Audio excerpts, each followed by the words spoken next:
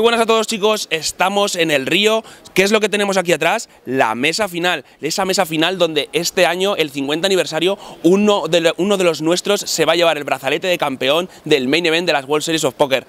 ¿Qué es lo que ocurre hoy? Está a punto de comenzar el día 2C del main event donde vienen los supervivientes del 1C y por lo que eh, vamos a tener presentes a jugadores como Sergio Aido, como Adrián Mateos o como Juan Pardo que tiene 160 ciegas y que de hecho viene de ganar ayer su cuarto high roller de 10.000 euros en el área. Van cuatro en un mes. Juan está enchufadísimo, así que es uno de los grandes candidatos a liar la parda en este, en este main event. No os perdáis la cobertura, seguid atentos a Poker Red y nos vemos ahora.